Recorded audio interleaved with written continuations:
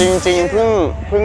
เพิ่งมี 4 ประตูคันแรกเลยปกติเล่นแต่ 2 ประตูมาตลอดเลย แต่คันนี้ที่ที่คิดว่าชอบเพราะว่ามันเป็นรถที่ไม่มีอ่า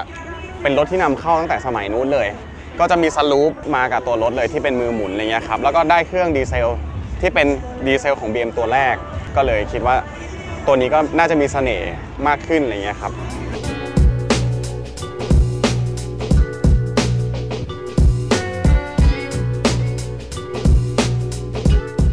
ใช้งานได้หลากหลายนะฮะ เป็นรถสปอร์ตที่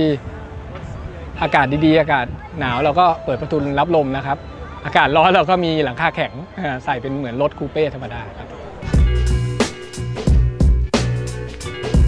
เสน่ห์ของ E24 หลายๆ คนอาจจะรู้ว่ามันเป็น shark face นะฮะ หน้ามันก็จะเหมือนปากฉลาม ซึ่งมันถ้าดูจริง ๆ มันเป็น BM รุ่นที่ 2 ที่เขาบอกว่า aerodynamic ดีที่สุดในบรรดาของกลุ่ม BM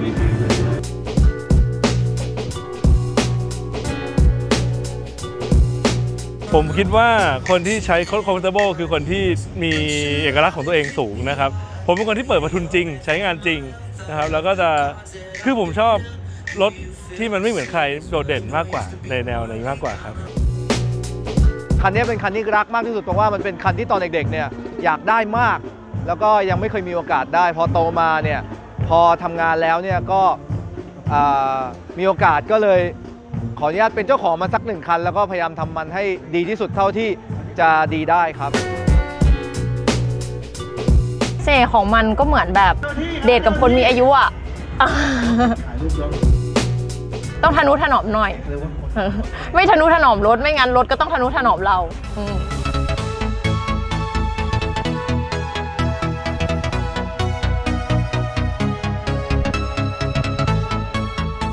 BM ค่อนข้าง represent ในส่วนที่คนที่แบบรักรถ แล้วก็รัก performance มาก ๆ รวมถึงดีไซน์อะค่ะ มันก็